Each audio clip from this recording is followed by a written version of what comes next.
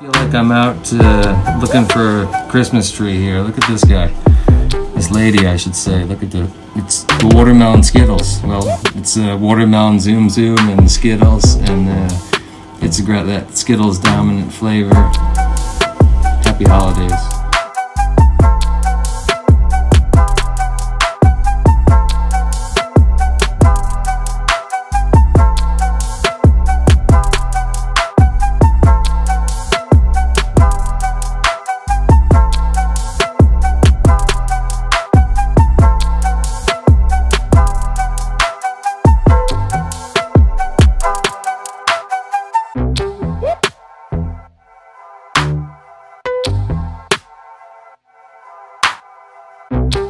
This is really awesome. This is the um, Zombie Kush.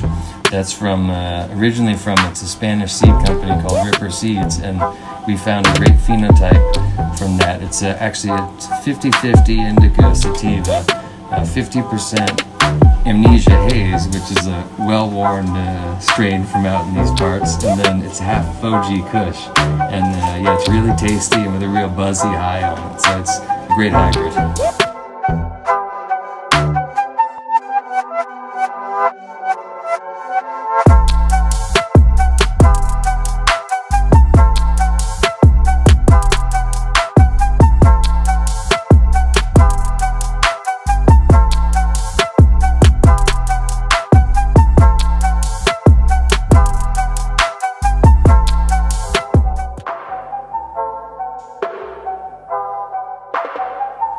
The purple purple punch. It's Granddaddy Purple with the Larry OG. And uh, that's an all organic one that we've been doing. The guy does a real good job on it. It's uh, super smooth and super relaxing with like a real good mood.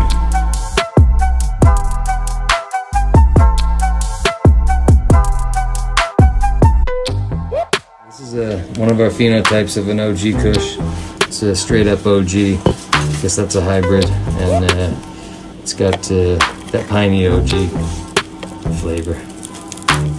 Consistent.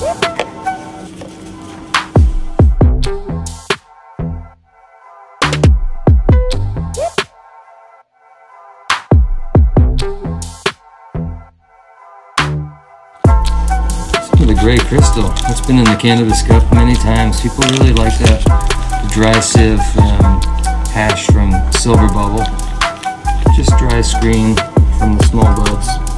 And uh, it's not a full bubble hash, but it's affordable.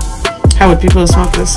Um, you know, a lot of people just add it right into joints, or they smoke it in a bowl or bong hit straight up. So it's flexible. Do you have any vaporizers here? Uh, yeah, we have a, a, volcano that we offer. That's your preferred? Yeah, yeah. It seems to be road steady for the uh, mass traffic that we have.